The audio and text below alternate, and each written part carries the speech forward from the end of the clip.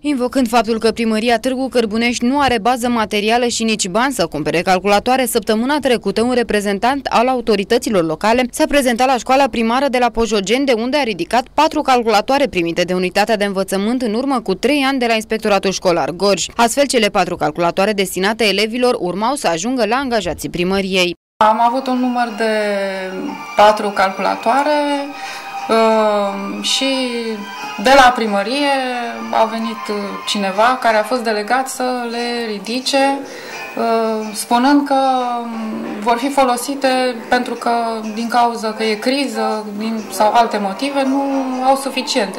Așa am înțeles. Nu au fonduri să-și Da, da, și au nevoie pentru ce activitate au dâns și acolo să folosească și aceste calculatoare.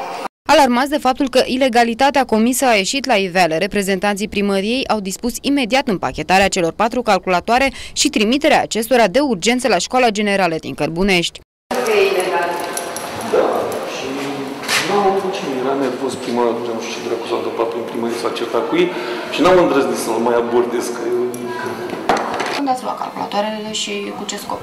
Acum o săptămână și ceva de zile pentru a face verificare și curățare la, la aparatura, aparatura respectivă.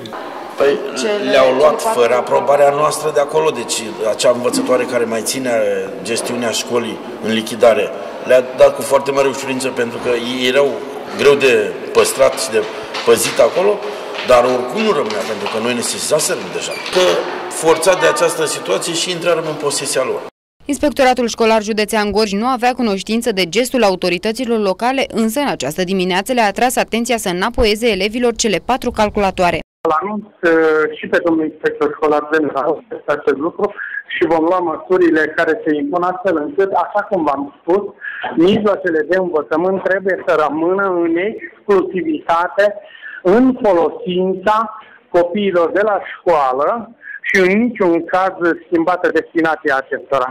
Părinții elevilor au fost cei care au sesizat gestul aleșilor lor. Aceștia se gândesc la faptul că în epoca tehnologiei copiii lor oricum sunt departe de ceea ce înseamnă inovație. A fost sesizat, sesizat de mai mulți cetățeni care au copiii la școala Pojogen, precum că calculatoarele care au venit pe program guvernamental de, și repartizate de către Inspectoratul Școlar Județean au fost repartizate și la școala Pojogen, de unde au fost luate din ordinul primarului să nu, mai, să nu se mai folosească la procesul de învățământ. Tu acasă ai calculator?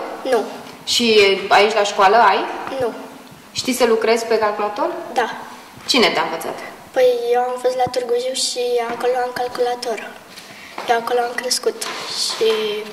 Dar aici la școală nu ai? Nu. Ți-ar plăcea să ai și aici la școală să înveți să lucrezi pe calculator bine? Da. Tu știi să lucrezi pe calculator? Da. Cine te-a învățat? La informatica Cărbunești. Am învățat, am făcut la clubul copiilor. Dar aici la școală ai calculator? Nu.